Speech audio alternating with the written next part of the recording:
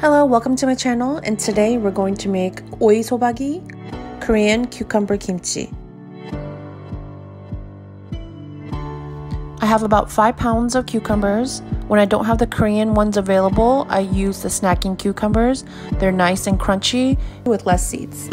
We are going to begin by cutting the tips off. Once we've cut all the tips off, we're going to cut the little pockets of the cucumbers. Leave about a half an inch and make two cuts into your cucumber, making a pocket.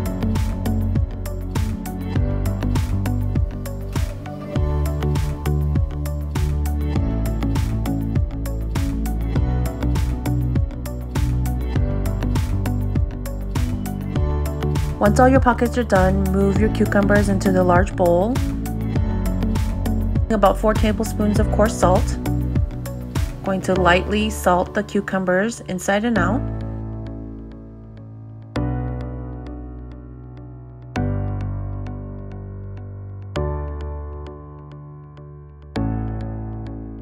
Let's sit about 20 minutes before giving it a nice flip.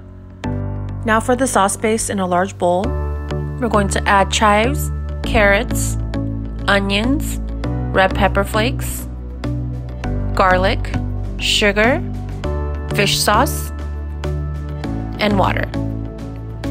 Begin to mix. Your sauce should not be too runny as your cucumbers will produce a lot of water. After about 20 minutes, check on your cucumbers, flip them around, and let soak for another 10 minutes.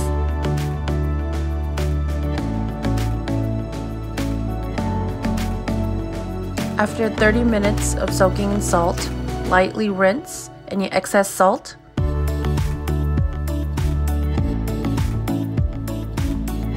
Now we're going to stuff the cucumbers with the sauce that we just made.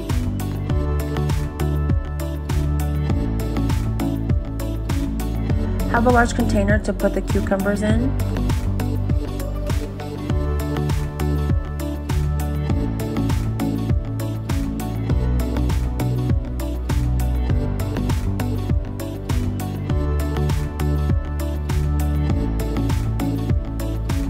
You can eat right away if you'd like, but I like to ferment my kimchi for about a day on the counter in room temperature and put in the fridge.